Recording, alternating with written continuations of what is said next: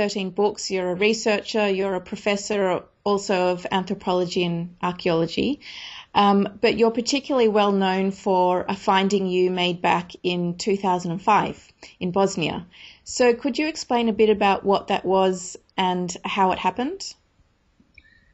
The last 30 years I've been researching pyramids all over the planet. And I have realized that uh, what they've been teaching us about the pyramids is actually wrong. They teach us that they are built in Egypt and Mexico, but they are built all over the planet, on all six continents. And secondly, they tell us that uh, pyramids in Egypt were built as tombs for pharaohs. However, in the biggest, the most superior, and the oldest Egyptian pyramids, no mummies, no pharaohs, no hieroglyphic symbols. So after 200 years of Egyptology, we are back to square one. So I think the 21st century will be very exciting times when it comes to the pyramids. We need to find out who really built them, when, how, and why. So after 25, 30 years of the researching the pyramids from China to Peru, from Bolivia to Canary Islands, Mauritius to Mesoamerica, of course, Mexico, Guatemala, Honduras, Salvador, and Belize, Cahokia pyramids in States, Egypt. In uh, spring of 2005, I first came to the central Bosnian town of Visoko, about 28 kilometers northwest from the capital city of Sarajevo. The reason was not the pyramids. I just went to visit the local museum. However, when I saw the hill with uh, four sides, triangular faces, obvious corners, and the same slope from the bottom to the top, and four sides meeting at apex, for me, the geometry of the pyramid was very obvious. I took compass and compass showed me that the sides were oriented towards the cardinal points east, west, north, and south. And that's exactly how the pyramids were built. In China, in Mexico, in Peru, Cahokia in the States, some of the Mexican pyramids. And that year, 2005, I did uh, some additional work, geological core drilling, archaeological trenches, some analysis, and by October of 2005 I published the first book about the discovery of the Bosnian pyramids. At that time I was talking about two pyramids only, which I could see with my naked eye, the Bosnian pyramids of the sun and the moon. And in that book I wrote that we were going to discover the underground labyrinth below the Bosnian pyramids. I based that on my uh, experience with the pyramids in Egypt, for example, on the one pyramid, in the Saqqara step pyramid, there is a huge network of underground tunnels. And the Giza pyramids also, and the Shanxi pyramids in China, and the pyramids in Teotihuacan in Mexico. Eight years later, yes, we have discovered and started cleaning and securing the underground labyrinth. So, from day one, from 2005, till today, 2013, the last eight years, this has become the most active archaeological site in the world. It seems from the way you described the, the orientation, the sides, it seems quite obvious that it's a man-made structure, but you've received a lot of backlash from the media, from the scientific community, political establishments who seem adamant that it's a natural formation. Um, what other evidence would you say there is to suggest it is in fact man-made? This discovery brings at least seven elements that will forever change our view of the ancient history. Number one, these are the first pyramids in Europe. Number two, they are the biggest, the largest on the planet. The Great Pyramid of Egypt is 147 meters in height the Bosnian Pyramid of the Sun over 220 meters. The element number three, the orientation of the sides of the pyramid are the most precise on the planet. We know that all Chinese pyramids are oriented to the north, cosmic north. All, all the Egyptian pyramids, most of the Peruvian, all Cahokia pyramids, some of the Mexican pyramids. So far we thought that the best orientation is the northern side of the Great Pyramid of Egypt. The error from the perfect north is 0 degrees and 2 minutes. According to the Bosnian State Institute for Geodesy, the error of the northern of the Bosnian Pyramid of the Sun is 0 degrees, 0 minutes, and 12 seconds. So this is the most precise orientation ever. The element number 4, the Pyramid of the Sun in Bosnia and other pyramids in Bosnia, which we named the Pyramids of the Moon, Dragon, Earth, and Love, they are all covered by soil. The same thing like in China, Mexico, or Guatemala. It's about one meter of soil. When we started removing the soil, we were discovering rectangular blocks. We have analyzed the samples in six institutes for materials in Bosnia, Italy, and France. And they all told us the same thing. It was man-made concrete. Now, the hardness of the concrete that covers the Sun Pyramid in Bosnia is uh, much bigger than what we have today in 21st century. Our concretes are usually in the range from 10 to 60 megapascals. In the case of Bosnian Pyramid of the Sun, the range is from 73 to 134 megapascals. This is the best quality concrete ever made hmm. on the face of the planet. The element number five is the age of the pyramid. Officially, Egyptian pyramids are approximately 4,500 years old. Officially, Chinese, Peruvian, Mexican pyramids, 2 to 3,000 years old.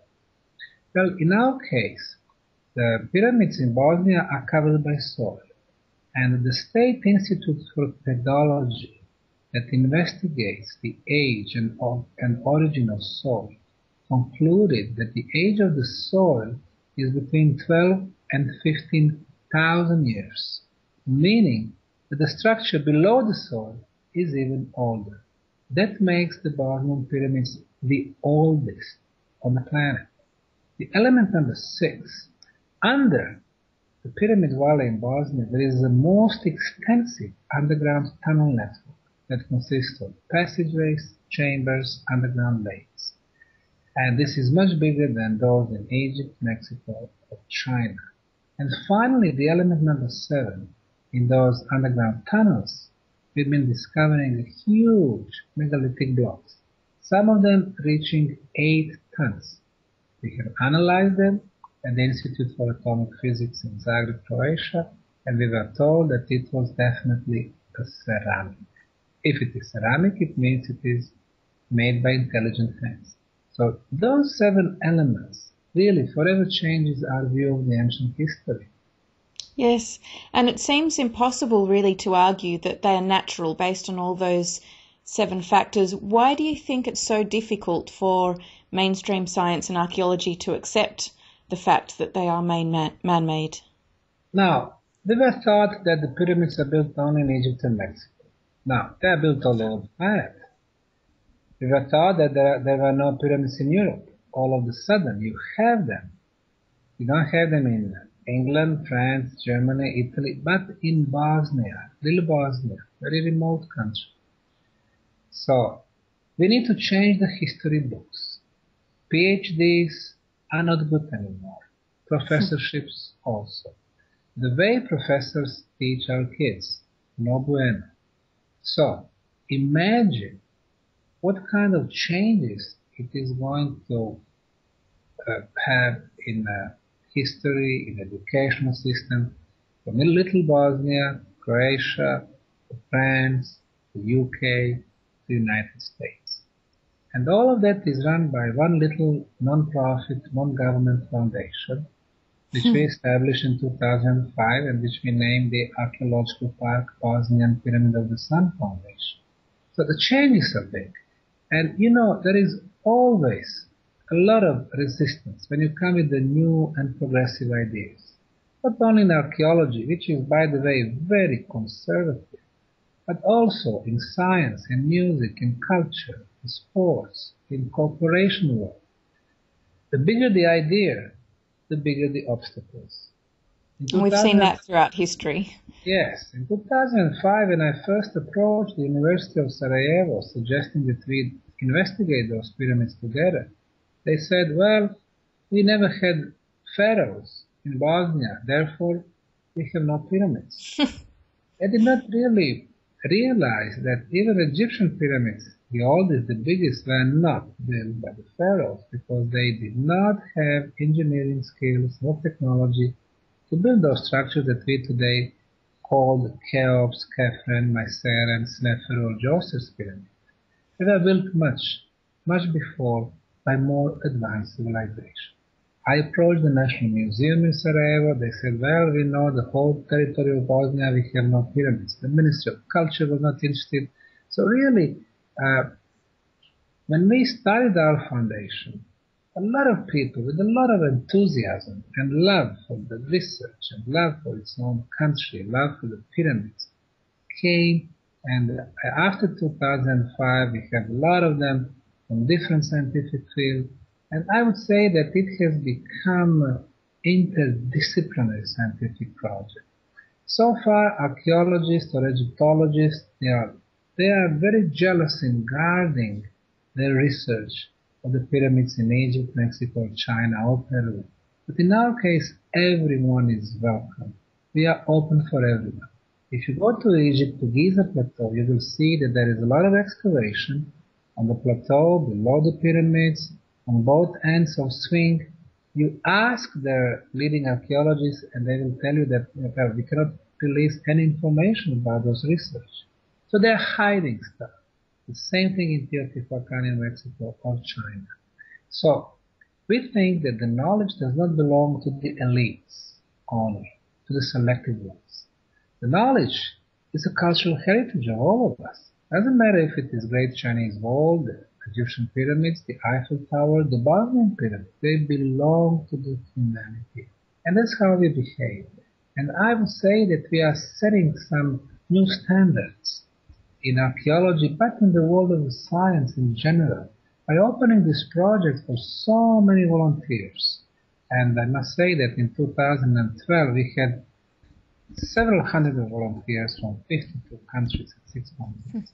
So by opening this project for all of them, we are saying, hey, you don't have to be professional, professor, archaeologist to work on such a global important site. You will be working under the supervision of our experts, but you will be part of the discoveries of history-changing project. And I think that's another thing why some of the mainstream scientists don't like us. Yes, I think it's a really important thing you're doing to get the volunteers there because if the media won't put the word out about this discovery, at least open it to the people and let people see it for themselves with their own eyes. That's right. Um, now, one of the interest, really interesting points you mentioned is about the age of the pyramids. So you said it could be up to even 15,000 years old.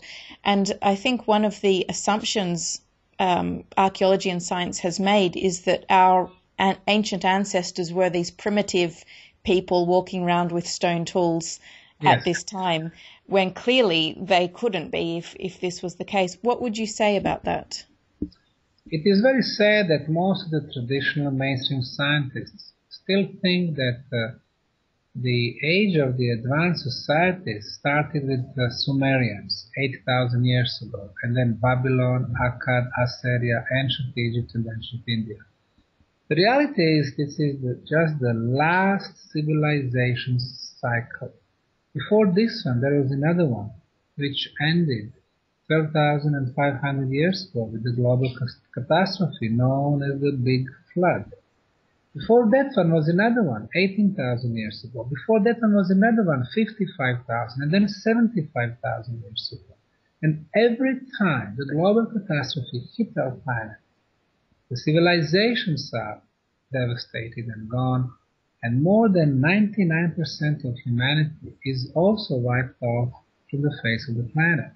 So those who survive, when they come out on the surface from the underground tunnels or natural caves from the top of the mountains, they need to start from the beginning. And that's exactly what happened 12,000 years ago. Those who survived the big cataclysm, when they got out, They thought that they were the first one, and today we think that we are the most developed, the most advanced, and the most beautiful. Well, we are not. It is just the last civilization cycle. For this one, we did have very advanced civilizations.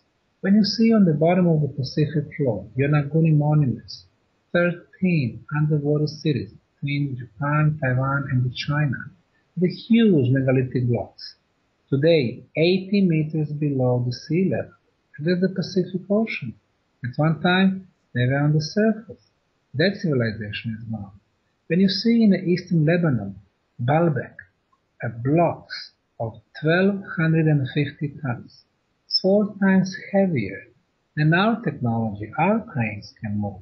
Obviously, to prove that we did have more advanced civilization in the distant past, you don't need to go to metaphysical. The truths are in the physical world. And of course, dating of Mexican, or these Egyptian or Peruvian pyramids will take us before 12,000 years. The same thing with the Bosnian pyramids. Not only that uh, we got the age 12 to 15,000 through the metallurgical research, but we got very precise radiocarbon dating of the organic material that we discovered below the layers of soil and on the, on the top of the concrete blocks. Last summer, Italian archaeologist Nicola Visconti with a team of his volunteers, they discovered the fossilized leaf. So obviously the structure was there, the wind was blowing, and the piece of leaf, you know, came there and remained on the surface of the structure, uh, which we analyzed in Kiev, Ukraine, in the radiocarbon lab, and they told us the age of the leaf was 24,800 years plus minus 200 years. In other words, we are going back 25,000 years. So, now we can conclude that Bosnian pyramids are most probably the oldest pyramids on the planet. Of course, we will need more dating, and I believe once we get inside the pyramid, if we find the organic material belonging to the original builders, then we can get the final conclusion and say, yes, this pyramid was built in so and so day. Yes. And if that moment happens and it and it does come out there about the, the real proof and evidence that it is a man-made structure, how do you think this will really affect our understanding of the origin of civilization? The discovery of Bosnian pyramid is so important and it will affect our history books. It, it won't be enough just to add a little paragraph in the beginning, because when you change the beginning of the history, everything that followed has to be changed. And that's why this uh, discovery affects all the scientific world. And that's why they thought some of the institutions like the Bosnian archaeologists, geologists, historians, or a European Archaeological Association was actually writing the petition to the Bosnian government to stop the project. 90 leading American professors of geology, anthropology, history, they were all trying to stop the project at the beginning, 2006-2007. Fortunately, the Bosnian government rejected those petitions, so we kept working. And even though we had the problems also in the country, the Ministry for Culture was against us, several state and federal commissions for national monuments, they wanted to stop us. I think when you have a noble goal in front of you, you will find a way to continue. And today, eight years after, we can proudly say that we have had three international scientific conferences, over 100 scientists from more than 25 countries concluded, yes, these pyramids are archaeological phenomena, not natural, not geological phenomena. Secondly, this project is globally important and it requires the history books to be changed. And I can say this. The first five years of the project, 2005-2010, we had spent time proving that we have construction complex. And really, if you have the shape of the pyramid, perfect orientation, concrete blocks on the surface, inner passageways, underground tunnels and labyrinths. Somebody was building a complex. Now, we don't intend to spend another hundred years trying to convince everyone we have pyramids in Bosnia. We had to move on. For us, moving on meant we need to figure out the purpose of pyramids. Archaeologists cannot help geologists, Egyptologists too. Nobody teaches them about the real purpose of pyramids. We needed help from the experts in the energy phenomena. First one to come was the physicist from Zagreb, Croatia, Dr. Slobodan Mizdrak. With his 10-member team, they brought instruments to measure electromagnetic fields. First we went around the nearby hills, no anomalies. We are going around the Sun Pyramid, no anomalies. Until we came to the very top. And there, in the radius of four and a half meters, we detected and measured electromagnetic field of 28 kilohertz frequency. We got out of the field, no detection. We came back, detection was there. It meant that this field does not go left or right, but it goes up as some type of the electromagnetic beam. now this particular frequency of 28 kilohertz is not something that you can find in the nature. Also, it is not something that we use in our civilization. Three months later, a Serbian electrical engineer, Goran Marjanovic, came with his equipment and he measured the same phenomenon, the same 28 kilohertz frequency beam. Later on, the sound engineer Heikki Savolainen from Finland confirmed that, and anthropology professor from Italy, Professor uh, Paolo Debertolis confirmed that.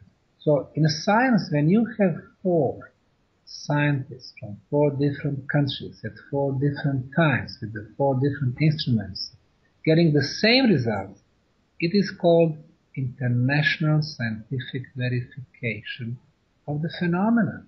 And the phenomenon that we have, and we've been measuring in the last two and a half years during all four seasons, summer and spring and winter and fall, is continuous, focused, energy beam of 28 kilohertz frequency going up. And then we measure the strength of the signal. The higher we go, the signal is getting stronger. Hmm.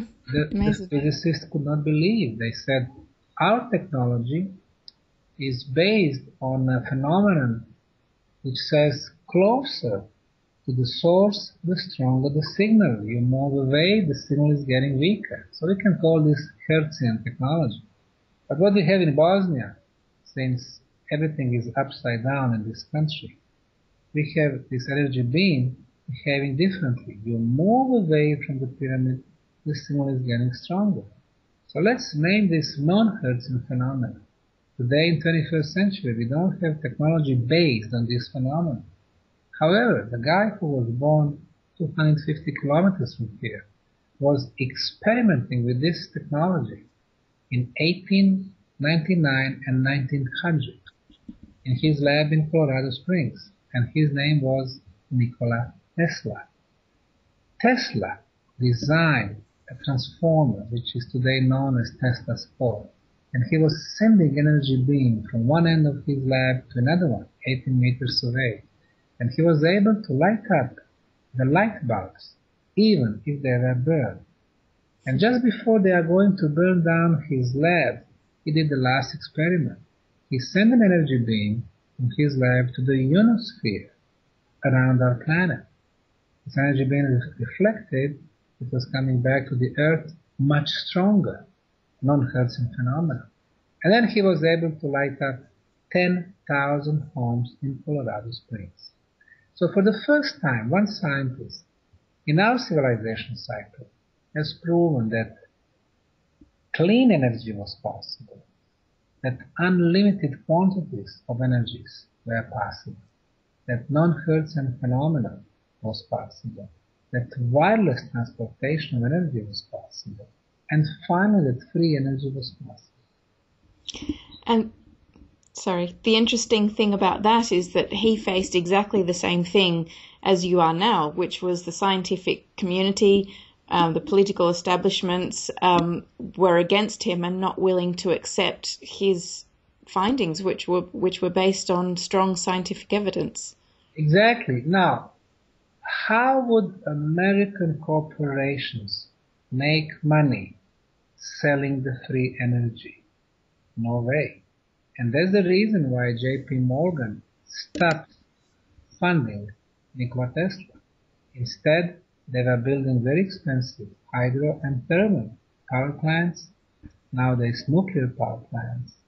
And they're building, you know, transformers and cables. They lose 20 to 50% of the energy during the transportation so they can sell it to us end users for a lot of money. And that's the base for the profit economy. However, one day the free energy will be available for all of us. And that will be the first pillar of the free society. Mm. The second pillar will be the free flow of knowledge. Instead, flowing only to the elites, it will be coming to all of us. And based on those two pillars, we will have a society of free women and free men. What we have in Bosnia, with the Bosnian pyramids, is exactly that. Somebody knew that the most powerful geometrical shape when it comes to the energy is the shape of four-sided pyramids. So when you orient it to the cardinal points, east, west, north, south, and that's exactly how the energy flows within our planet, then the pyramid gets working and uh, it starts producing certain energy phenomena. Now, the pyramid does not produce energy from nothing. The location is very important. What we did find out through three labs in Zagreb, Belgrade and Vienna, Austria, was that the source of electromagnetic beam is actually 2,440 meters below the pyramid, a huge iron plate. As we know, iron generates its own electromagnetism. So what the pyramid does, it sucks this energy, amplifying it. The pyramid is actually energy amplifier, but not only electromagnetic fields, also magnetic energy.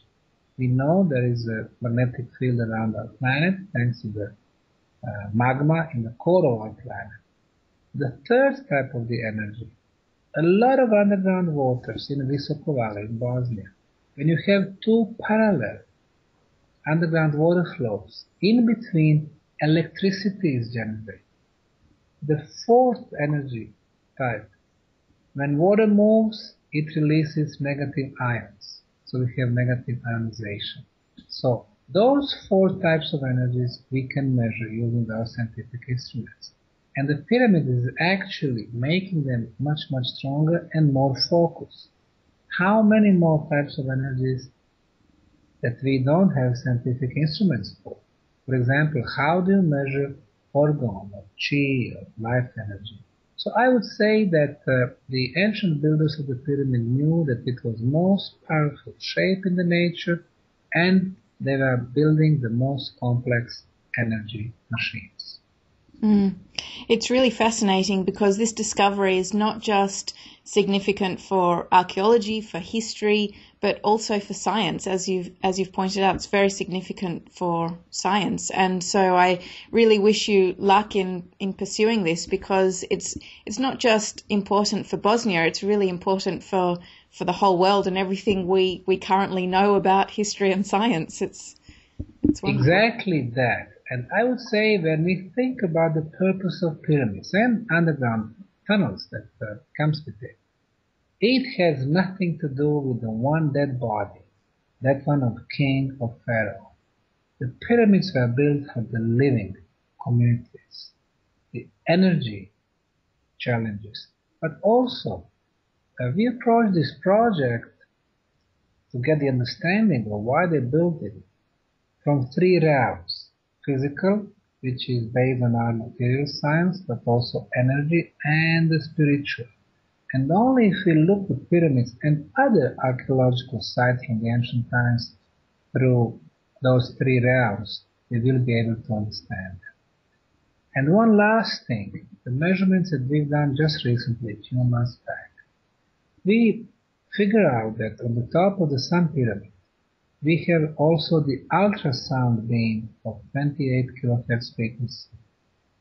This frequency for the ultrasound, which by the way we cannot hear, we hear from 10 Hz to 20 kilohertz. 28 kilohertz is a little bit higher.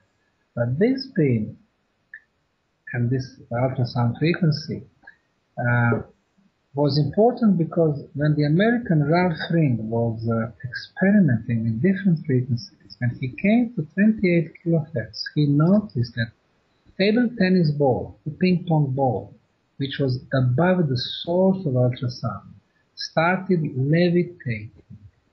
So it seemed that this particular frequency is good for the levitation.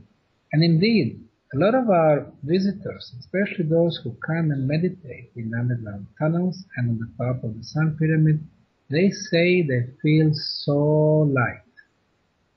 I hope we won't need to go after them on the sky and on the clouds. But uh, it seems that the ancients knew why they were generating this particular frequency.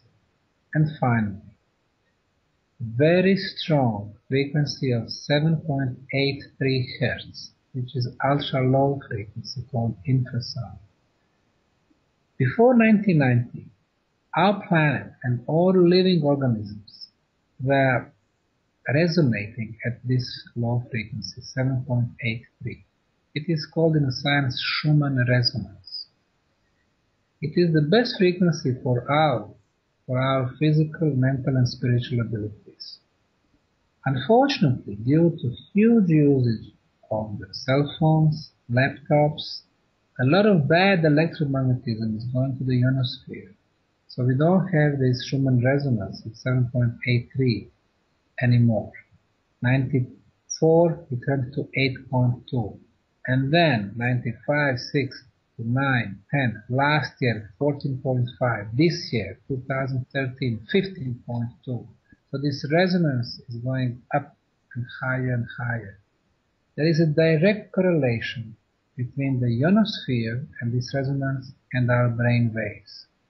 As you know, the state of deep sleep is from 0.5 Hz to 5 Hz. The alpha brain waves are from 5 to 8 Hz. So 7.83 is like a very deep meditation state. Very good for us. But now, after 8, it is our awakened state, from 8 to 15. Over 15, we are becoming rather aggressive, a lot of stress. So it means that thanks to our technology, raising this frequency of the planet, we are going to affect our brains and our society as a whole in a very bad way. And guess what? The pyramids in Bosnia, the tunnels in Bosnia, still keep Schumann resonance, 7.83. That's why a lot of tourists who come to our tunnels and the pyramids, they feel so good. good. It's saying that the pyramids are actually the guardians of the best frequencies for us. So they are the way out for the humanity. Mm, yeah, it's incredible. It really reveals how much we don't know about ourselves and about the, the planet on which we live. well, uh, thanks so much for sharing all that with us. I hope I can get there one day to, to see it. And hopefully you'll keep us updated with all the progress that you're making there as well. Um, and I really hope that in the future this is going to, to come out and be accepted, you know, by the mainstream and, and realize what it's teaching us about our history and about science. So thanks again for your time. Thank you, and you and everyone else is welcome.